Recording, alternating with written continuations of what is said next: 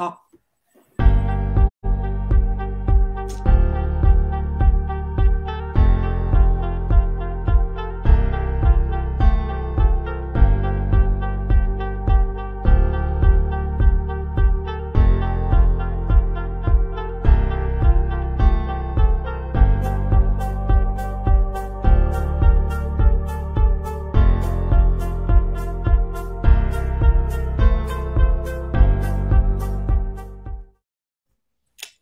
Eccoci, buonasera a tutte le persone che si stanno collegando con noi in questo spazio solito eh, tra le righe di Reading with Love, eh, dove ospitiamo eh, personaggi o del mondo della scrittura e della lettura. Stasera abbiamo un ospite specialissimo che sicuramente interesserà molto, eh, vi interesserà moltissimo.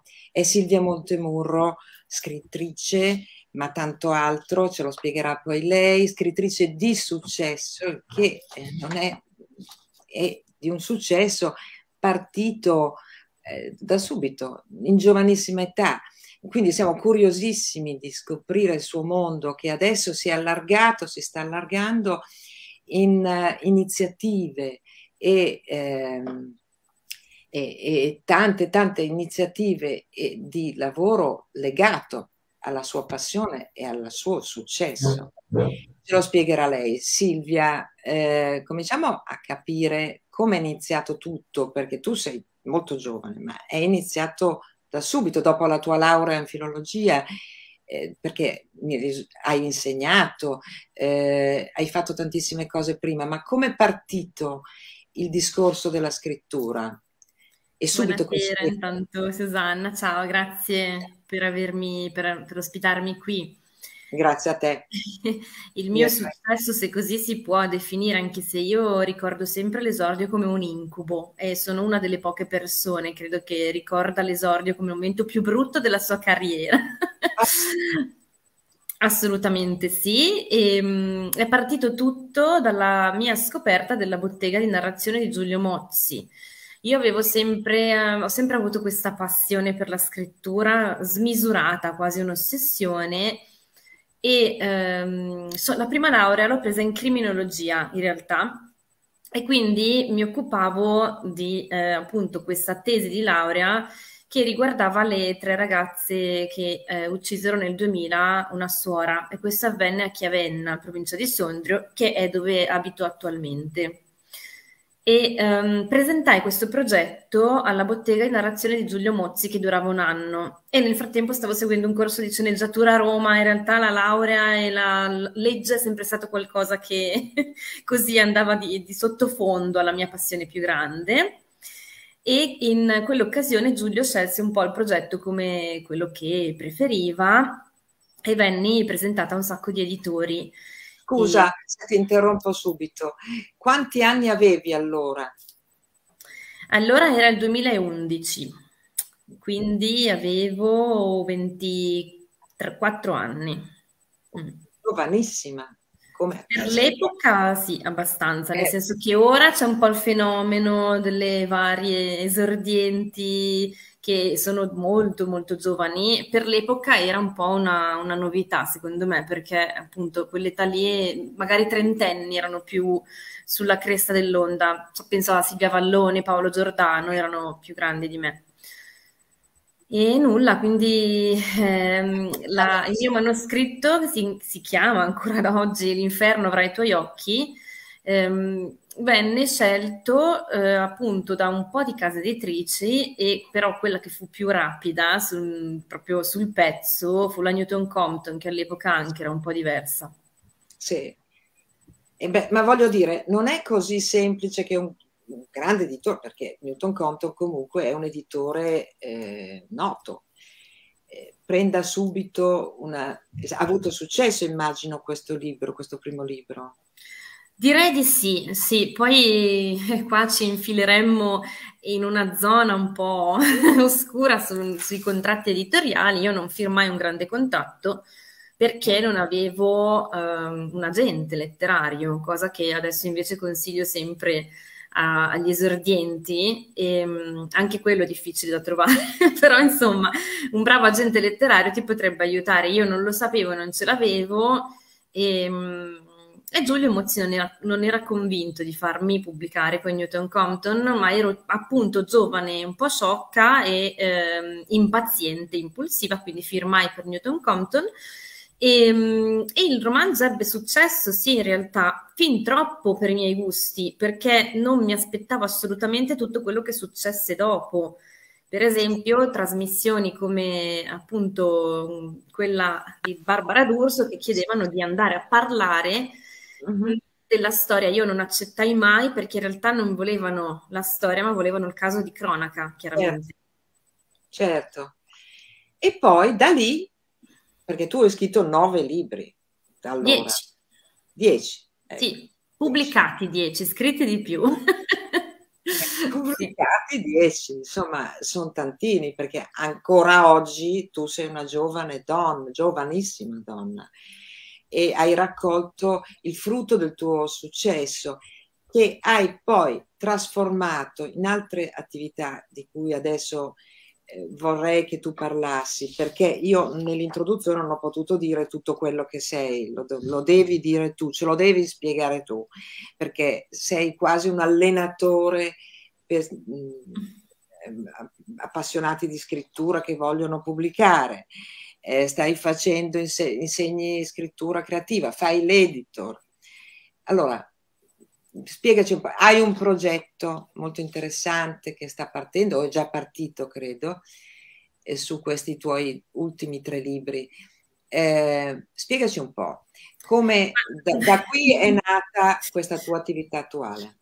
Da qui è nata, allora, da, dall'inferno è nato un po' tutto. Penso che dall'inferno io mi sia sempre chiesta cosa vuoi fare da grande e, ehm, e, credo di aver trovato risposta nel corso degli anni, ma quel classico momento di cui parlano tanto i marchettari, il momento aha, è arrivato solo l'anno scorso dove stavo insegnando in una scuola professionale e um, io sentivo di, di, poter dare invece molto di più um, dell'insegnamento classico proprio perché ho sempre seguito una marea di corsi di scrittura, di sceneggiatura, e sono stata editata mi piace dirlo, dai, dai migliori d'Italia in quanto editor e, um, e, quindi volevo arrivare anch'io a dare la mia esperienza alle altre persone, agli aspiranti scrittori in primis.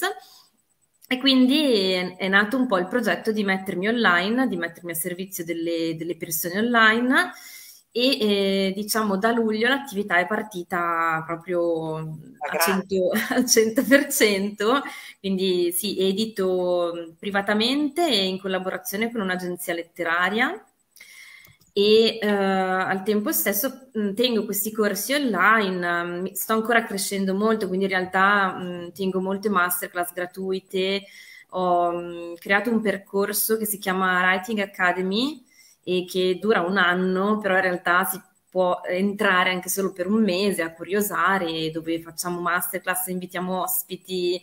È un po' quella, una cosa simile a quella delle sei settimane che avevo proposto a te, come, ti avevo invitata come ospite. Sì. E, um, e, quindi invitiamo appunto persone, eh, esponenti del mondo dell'editoria, ma non solo, anche del giornalismo eh, o scrittori, perché mh, quello che ho capito negli anni in tutte queste pubblicazioni è che veramente bisogna fare rete, cioè l'importanza di eh, essere in connessione, fare rete e non lasciarsi prendere dalla smania di dire io sono una scrittrice incompresa, perché invece tante volte mi è capitato di sentirmi così.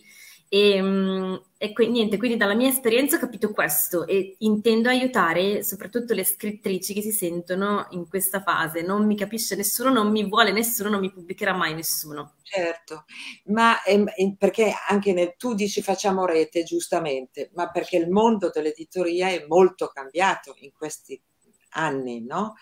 Cioè adesso ci si deve molto esporre eh, anche eh, essere nei social e tu vedo che sei molto attiva su questo. Sì, io mi impegno tantissimo in questo fronte, oramai è diventato il mio, mio primo business. Se l'anno scorso lo era a metà, a un certo punto a settembre ho dovuto prendere la decisione di mollare la scuola per dedicarmi in tutto e per tutto a questo e eh, mi sono resa conto che dietro questo mondo dei social, come sai benissimo, sapete benissimo anche voi, c'è proprio un'organizzazione pazzesca, una creazione di contenuti, quindi il content creator è diventato una figura fondamentale e se sai gestirlo bene vedi la tua crescita e um, in qualsiasi ambito, questo in qualsiasi ambito e lo storytelling sicuramente l'essere una scrittrice aiuta perché in questo non si, ha, non si hanno problemi. E, ehm, sì. È molto competitivo, è un mondo molto competitivo, um, poi bisogna sempre aggiornarsi, eh, quindi penso che si rimanga giovani anche facendo tutte queste, queste cose. Sì, per ora non è il tuo problema, sei, sei, giovane e quindi non hai il problema di restare giovane. No, una, una cosa ti volevo dire, ti volevo chiedere, eh, riesci a scrivere però con tutte queste cose che stai facendo? Continui anche la tua... Sì, assolutamente sì. Ehm, anche in questo ho cambiato l'approccio, nel senso che a me è sempre, io ho sempre visto la scrittura molto in solitaria e ancora adesso scrivo eh, con proprio le, le serrande chiuse. Um, però ho visto che il mondo editoriale è così cambiato che non intendo più proporre un mio testo senza prima averlo io stessa fatto editare da un professionista. Ah. E, ehm, è una, un approccio sicuramente diverso, però mi sono proprio resa conto che da prima della pandemia ad adesso abbiamo alzato ancora l'asticella, ancora il livello. Di, eh, degli sconosciuti che vengono eh, pubblicati, nel senso che se non hai un tot di follower, oramai il classico editor non ti fila e, e, quindi io desidero essere inattaccabile dal punto di vista della scrittura. E io sono la prima che dice che ogni giorno bisogna imparare e mettersi in gioco. Quindi adesso mi sto facendo seguire da Alessandra Penna, che è stata editor di Newton Compton ed è stata la mia prima editor. È stato bellissimo ritrovarsi dopo dieci anni e sto lavorando a un progetto molto, diciamo, molto, una storia sul, sul sociale ambientata in un passato, perché oramai sono 4-5 romanzi che scrivo storici e questo riguarda proprio qualcosa, un evento dimenticato della, della storia al femminile. Ed è perché una cosa che parli, il, tuo, il tuo soggetto sono le donne, tu parli con le donne, hai anche questa tua collaborazione con la rivista più autorevole di narrativa che è Confidenze, eh, che, perché eh, e quindi tu hai proprio, eh, lo scrivi anche nella tua bio, eh, la tua attenzione è molto sul femminile, no? Sì, i miei personaggi sono tutti al femminile. E, e questa storia è, è, nata ancora da un altro, è pazzesco perché ci sono delle, delle, circolarità nella vita di tutte le persone. E la mia circolarità è stata che questa storia è nata dalla mia tesi di laurea, l'ultima in filologia, e invece la prima in criminologia sono sempre state, diciamo, ehm, due storie date da Alessandra Penna. Quindi è qualcosa che no, non ho fatto apposta e anche qui c'è un trio di ragazze e anche nella mia prima storia c'era un po' un ritorno a casa per tanti motivi quest'anno in questa storia che sto scrivendo. E, ehm, e sì, sicuramente serve, serve tantissimo. Se ho capito bene, se ho capito bene, tu vuoi comunque prima di pubblicare da adesso in poi vuoi un editor che, no? che, ti, che riveda con te il tuo libro. È così? Sì. sì. Perché prima com'era? Cioè quando per esempio cioè, con Sperling, adesso dico visto che hai pubblicato anche con loro, cioè tu davi il tuo romanzo e c'era un editor interno? Sì, con Sperling, con Salani, con Rizzoli, io avevo una bozza di idea e quella ah. bozza di idea con un po' di capitoli veniva sì. presa, valutata grazie alla mia agente letteraria e poi ci si lavorava. Ah, Ora devo dire che anche con Sperling ho notato, perché l'ultimo con Sperling è uscito uh, a luglio di di, dell'anno sì. scorso, e ho notato come sia un mondo più frenetico anche nell'editing ed è una cosa che va a discapito solamente dell'autore perché comunque io poi pubblico un testo di cui non sono fiera al 100% e la cosa più importante non è pubblicare, ma essere contenti di quello che si scrive e si è scritto. Certo. Certo. E quindi è diventato tutto più, appunto, più frenetico per loro e dunque bisogna stare al passo in questo senso anche. Certo. E come ti rapporti con le, con le tue le persone che seguono i tuoi corsi? Le valuti? Sei mi viene una parola un po' strana, eh, sei, hai una forte onestà nel dirgli quello che pensi, se ritieni che una persona non sia tanto dotata. Mm, Ma tu prima hai parlato di, mm, di allenamento, di, di allenatrice della scrittura. E a me piace un sacco questo, questo termine e um, ho imparato anche un po' così mettendo da parte magari l'ego che l'umiltà è de- una delle doti fondamentali che deve avere uno scrittore e chiunque può migliorare nel mondo della scrittura, prima di tutto guardandosi dentro. C'è una cosa che ho inventato in quest'ultimo anno che si chiama medito scrittura e che aiuta proprio davvero tantissimo le persone a scrivere dopo aver fatto meditazione sono delle sedute che tengo molto spesso anche gratuitamente, non è um, il mio lavoro, però molto spesso voglio far avvicinare le persone a queste cose magari un po' strane. Però mh, mm, quello che io intendo veramente eh, fare è far scoprire alla persona perché vuole scrivere. E tante volte mi capita di trovare donne che partono dalla scrittura, magari di romanzi, per arrivare alle poesie, partono dalla scrittura per arrivare alla pittura, e trovano la loro forma d'arte, invece donne che invece partono dalla scrittura per migliorarsi, migliorare proprie, la propria tecnica narrativa e scrivono cose molto belle. Quindi sarà affascinante anche per te questo percorso, questo, questa, questo contatto con queste persone che aiuti, aiuti anche un po' a trovare se stesse. Sì, eh, ma mh, mm, sicuramente affascinante e sicuramente eh, Susanna, se noi non avrei mai abbandonato il mondo della scuola se non fosse stato per qualcosa che dava di più in termini proprio emotivi, perché alla fine mh, mm, io sono sempre stata un po' una persona, diciamo, introspettiva e non molto socievole, se vogliamo, mi piaceva tanto anche stare da sola e comunque anche timida e sì. mi accorgo di attrarre persone molto simili a me, che con la scrittura si aiutano, a, est- aiutano proprio i, i, propri sentimenti a uscire e, e, trovano loro stesse, come stavi dicendo tu. Quindi sì, è una certo. forma di terapia. Senti Silvia, parlaci di questo tuo progetto adesso, di questi tuoi tre libri. Sì, ho avuto questa idea perché mm, il romanzo, il secondo romanzo, il primo è La casa delle farfalle, sì. il secondo uscito nel 2019 è I fiori nascosti nei libri per Rizzoli e questo libretto sfigato, poverino, io lo chiamo il libretto sfigato, ah, non è riuscito a fare il tour che Rizzoli mi aveva dato gratuitamente, quindi mi, mi stava spesando tutto. Ed è una cosa che mm, lo sappiamo, ah, adesso succede ah, veramente poco. Quindi, eh, siccome eh, io sono rimasta veramente sotto, come tantissime altre persone, ho deciso di ripartire con i miei mezzi e quindi sto, domani uscirà la locandina, diciamo, ufficiale con le prime date, i primi luoghi.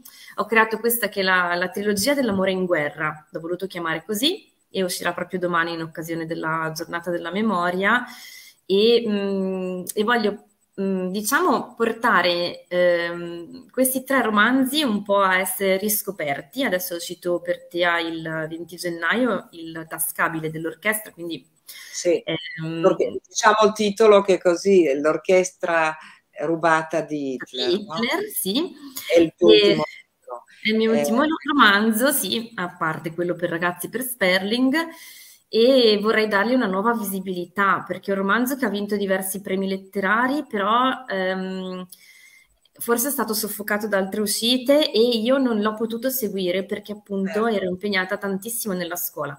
Quindi adesso che diciamo mi sono fatta spazio, vorrei Beh. portarlo e magari in maniera un po' diversa. Sto cercando di, mh, di, organizzare un piccolo recital dove ci siano, diciamo, questi tre romanzi e le, e le voci di queste donne nelle storie che, che, parlano. Ecco, adesso la dico così, Ma poi vediamo se... Dove, dove lo farai? Cioè, mh, sarà un allora, ci sono, sì, ci sono diverse date. C'è, ehm, per adesso in Lombardia, quindi a Canzo, a Morbegno, parlavamo prima, a Como ehm, a Colico, che è vicino al, al, lago dove sto io, e per adesso sono luoghi vicini di persone che mi conoscono, che mi hanno già avuta nelle loro librerie, e poi spero di estendermi in altre regioni, in altri luoghi. E a giugno invece a Treviso il, um, il, Rotary Club metterà in scena un tre quarti d'ora dell'orchestra rubata di Hitler con un gruppo di giovani teatranti.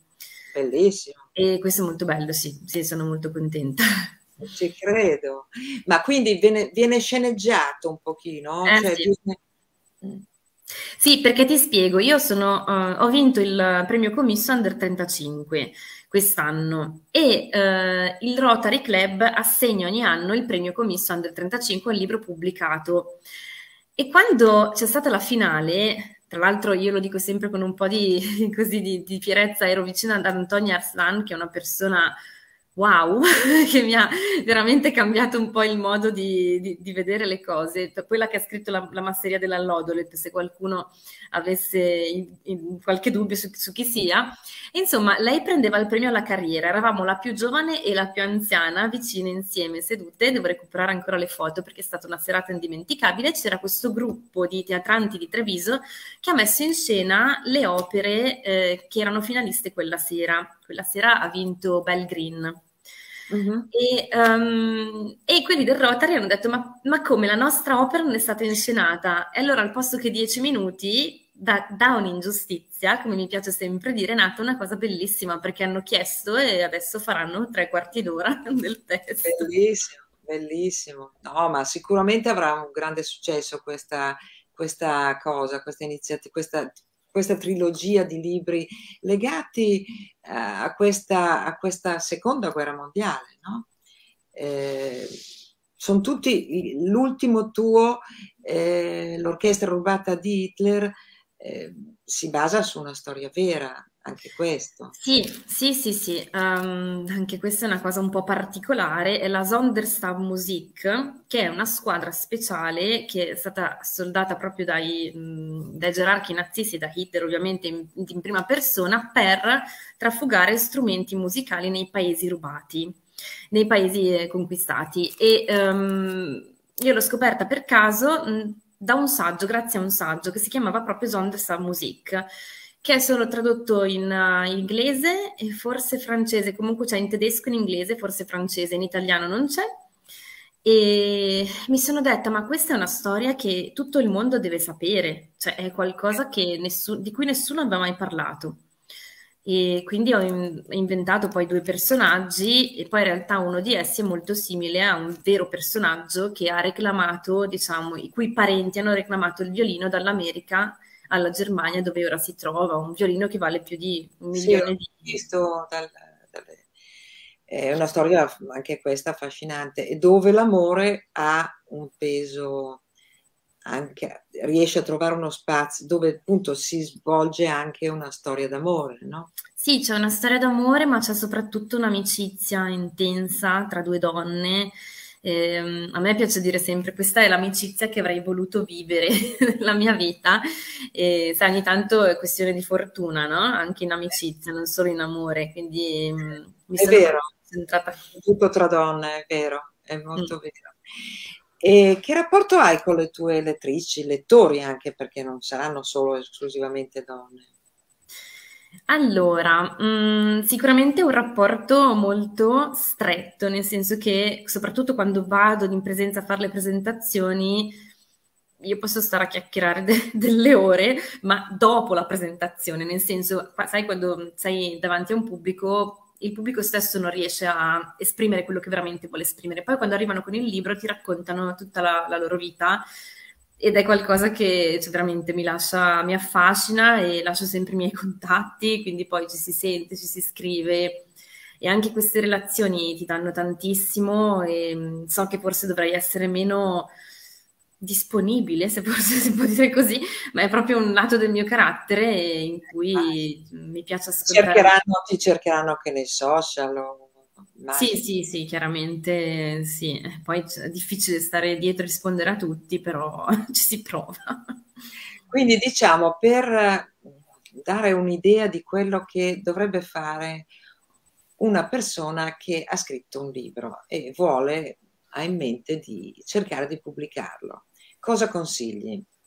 Cosa le consiglieresti? Eh, io ho una serie, ho giusto pubblicato oggi una serie di 30 domande per chi ha appena finito la storia. Sul mio profilo Instagram ci sono queste 30 domande che faccio sempre quando una persona mi dice ok ho finito, ho scritto questa storia, me la editi? No, aspetta, prima ti faccio queste 30 domande e servono ovviamente alla persona, non tanto a me, per capire se è andata nella direzione giusta.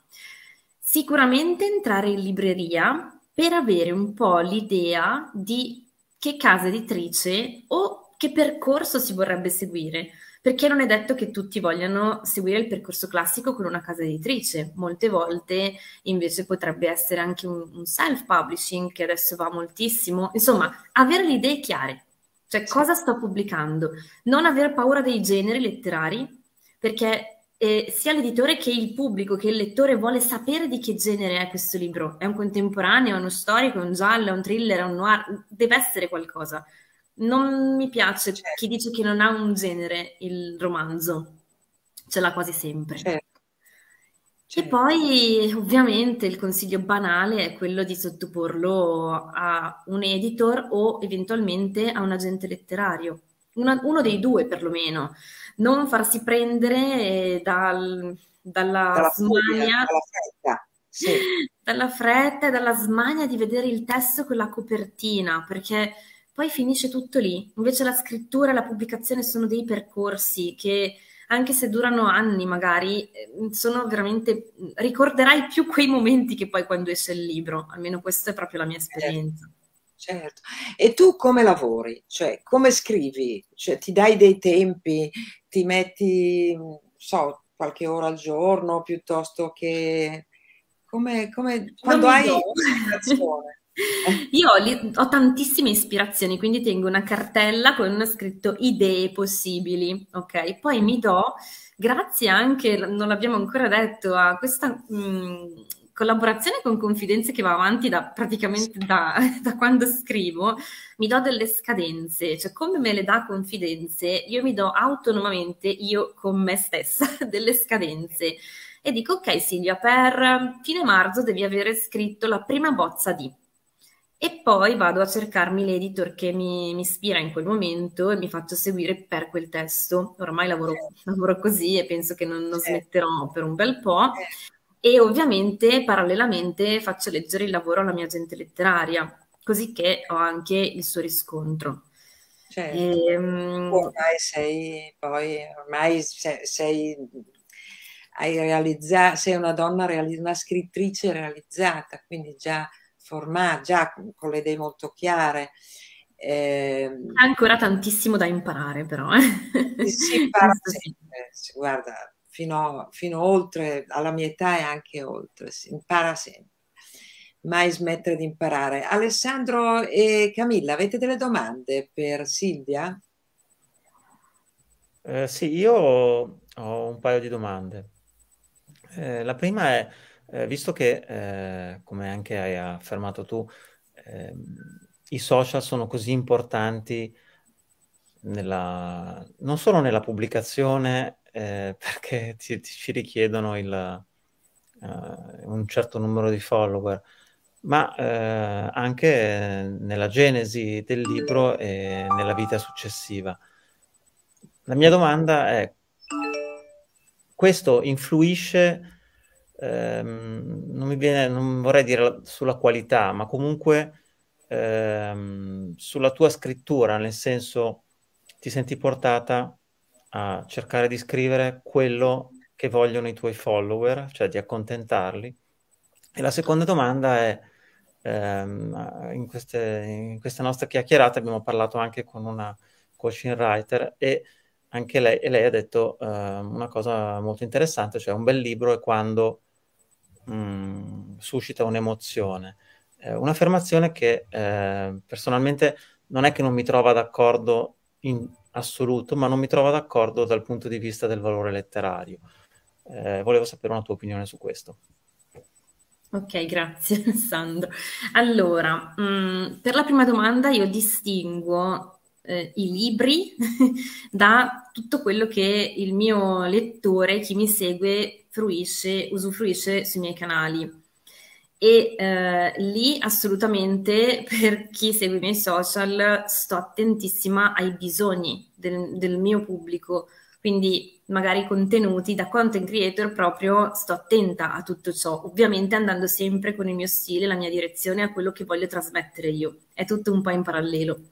Per quanto riguarda invece i romanzi, ehm, no, nel senso che le storie mi arrivano proprio a colpire ehm, con un'intensità talmente forte che anche volendo non riuscirei mai a scrivere qualcosa che non mi sta vessando proprio perché sento tantissimi personaggi, sento i miei protagonisti, sento la storia che chiama e forse nel, la, nella maniera in cui scrivo magari poi cerco di trasmettere o meno un certo tipo di sensazione, ma i temi e assolutamente tutto quello che, che, che viene dalla mia fantasia non, non ho mai eh, assecondato forse un, un volere del lettore Forse l'ho secondato l'unica volta nel, nello scrivere il sequel di Cercami nel vento, perché era un'esperienza particolare e mm, me ne sono un po' pentita. Quindi credo in assoluto che bisogna partire proprio da, dalla scrittura, da quello che uno pensa e sente. Sono piuttosto invece d'accordo sull'affermazione dell'emozione, mh, mm, perché alla fine non è un esercizio letterario mh, mm, e lo, può esserlo e deve essere la cosa che, che riesci a scrivere meglio, cioè devi scrivere benissimo, quello, su quello sono d'accordo, però l'emozione può anche essere il disgusto, anche quella è un'emozione, l'emozione può essere anche una rabbia intensa, l'importante è suscitare qualcosa e sono d'accordissimo anch'io con questa affermazione. Un'ultima domanda, scusa, poi ti lascio libera le altre domande. Oh. Um, mi è venuto in mente sentendoti parlare. Um, tu pensi che questo mondo, io non è che ce l'abbia con i social, assolutamente, vivo anche di questo, eh, è semplicemente un'analisi che stiamo facendo.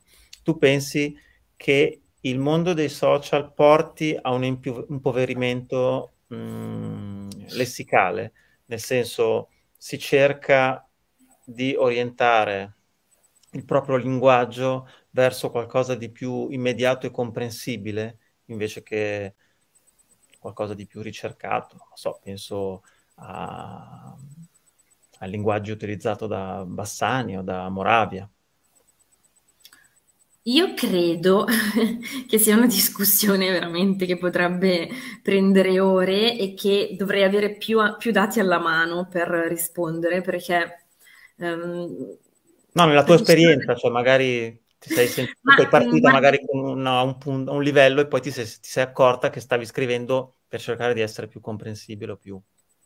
Mm, quello, quello, può essere, sì, mm, però dipende anche dal canale, nel senso che io noto, non so se lo noto solo io, che su Facebook siamo ancora più una nicchia di pseudo letterati che cerca ancora la particolarità dell'espressione. Su Instagram si deve essere quasi più diretti, cioè dipende dal social. E su TikTok, a me pare, alla, allo stato attuale, che ciascuno faccia un po' quello che gli pare e che quindi eh, viene seguito dalle persone giuste. Però questi sono i miei dati in questo momento dei, so- dei tre social che uso, perché LinkedIn è proprio marginale. Ma non parlerei di impoverimento quanto di adattamento un po' al, um, al, linguaggio per quanto riguarda Instagram e invece su Facebook, non so se siete d'accordo, io noto una tendenza un po' contraria. Sì, è vero, è vero, sì è vero. Ma nel tuo eh, libro, nella tua scrittura, cioè a parte i social, proprio nella tua scrittura, mh, questa cosa non ti, no, assolutamente, anzi, anzi, sto facendo proprio con adesso questa editor una sorta di, di studio per cercare di trovare la voce letteraria, io te, ci tengo particolarmente a questo argomento della voce letteraria, quindi si associa anche in qualche modo allo stile e ci sto lavorando veramente tanto, quindi no, su questo non, non posso dirlo, ma neanche, non credo neanche che i lettori siano così sciocchi da, da non accorgersene. E ehm, volevo chiederti una cosa, eh, quanto conta adesso ancora la libreria? A mio parere tantissimo, per una persona che come me non è eh, né self né pubblicata da mh, mm, magari una casa editrice anche come la vostra, che comunque fa tanta promozione, per esempio, in altri canali, mm, certo. conta molto sui social. Certo. Io credo che sia per chi pubblica un certo tipo di, di, di editoria fondamentale. E infatti è proprio questo, per questo che mi voglio muovere. Io ho notato che per la Casa delle Farfalle con un tour decente, costruito solo a mie spese, però decente, ho ottenuto la ristampa in un mese. Quindi i librai sono ancora l'anima, il motore della, veramente delle vendite. Certo. E, nelle, e, tu però vedo che sei molto venduta anche nel, online, cioè hai eh, cioè tu chiaramente hai la libreria, però i tuoi libri vengono venduti anche online. Quindi sì, sì, proprio, sì. non hai riscontro su quello, no? Delle tue... Mm, no, anche se quando arrivano i rendiconti, se vogliamo fare una differenza, c'è un, un 8 a 1 magari per, per gli ebook ah, sì. rispetto al cartaceo. Cioè, ovviamente no, vince il cartaceo. Io parlo di cartaceo anche in, in, in, in voglio dire, online parlo sempre di cartaceo. Vabbè, ahimè, mh, mm, purtroppo è la mia cioè, eh. purtroppo sì, nel senso che se non vengo venduta adesso come adesso, parte questa uscita di Tea che sarà anche negli autogrill, ma se non vendo i miei romanzi su Amazon o negli altri portali online, in libreria non ci sono i miei testi. Eh. Cioè sono l'ultimo. Certo. Sì, ma non è la mia situazione, è quella di praticamente tutti, se non i più famosi sì, sì. che, sì, che sempre. C'è una domanda per te di Michela Scomazzon Galdi. Vorrei chiedere a Silvia quali sono le sue abitudini di scrittura, gli eventuali riti, se scrive sempre nella stessa fascia oraria. No, io allora mh, mm, ho detto prima che mi do delle scadenze molto ferree, proprio per avere una libertà di non fare niente che sia eh, né legato a, a qualche tipo particolare di rituale, per esempio scrivo in macchina, in treno, io scrivo, mh, mm, viaggiando scrivo benissimo, quando sono via da, da casa scrivo ancora meglio. e non ho, no, davvero non so perché. Eh, ho questi riti nel senso che sì, forse l'andare via è un rito per cui scrivo meglio. E, mm, e, appunto la scadenza mi aiuta proprio a dire ok, devo, devo mettermi lì e devo mettermi alla scrivania a scrivere. E lo so che la scadenza è solo con me stessa, ma io prendo in giro me stessa dicendo ok, hai una scadenza, e penso che bisognerebbe farlo perché è un po' la stessa cosa così di un allenamento, no? Se non ti crei tu, non è che puoi par- pagare tutta la vita un personal trainer, devi crearti tu gli spazi dove allenarti. Certo. Eh, come te la vedi il tuo futuro con tutte queste cose che stai facendo? Come ti vedi? A breve, naturalmente.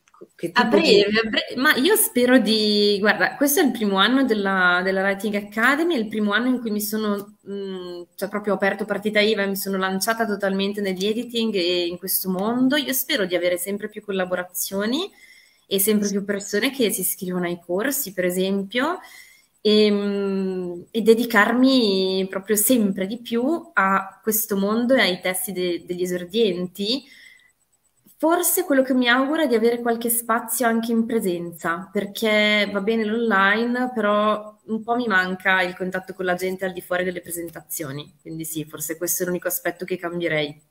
Certo, e, e com- comunque il, ti vedi sempre cavalcare questa, eh, questo tuo coaching, oltre a tutto, cioè questo tuo eh, selezionare nuovi scrittori, è molto bello questo. Hai, sono tutte donne le tue allieve? Sì, sono tutte donne, tranne ehm, le collaborazioni con l'agenzia ah. che, eh, che, mi sta dando uomini. Quindi ehm, questa agenzia che mi passa i testi e poi ovviamente a me piace sentire la persona, creare un percorso con una, di editing proprio con la persona. Lì stanno arrivando anche appunto, uo- finora sono solo uomini lì e vabbè un po' mi sta bene perché io mi rivolgo solo alle donne, quindi... Può essere utile anche a te.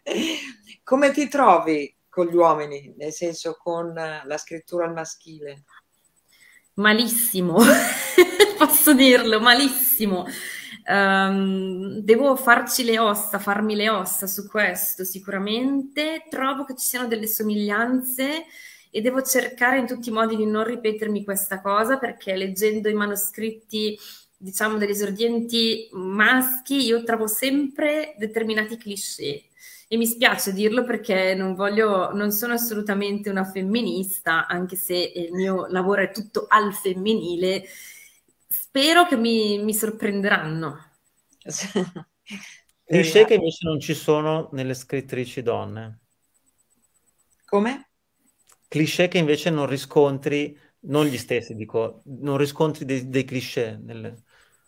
No, no, no, no, non sto, no, nella scrittura al femminile, ehm, prima di tutto riscontro anche mh, donne che scrivono di uomini, cosa che finora non mi è capitata al contrario. Cioè, lo so che ci sono scrittori famosi che scrivono di, eh, parlando dal punto di vista della donna, ma ehm, finora degli esordienti sono tutti molto, diciamo, presi da adesso dico una cosa brutta, da, da, non dal proprio ego, ma comunque dalla, mas- dalla, loro parte maschile. Invece le donne accettano più volentieri le, entrambe le parti, quella femminile e quella maschile.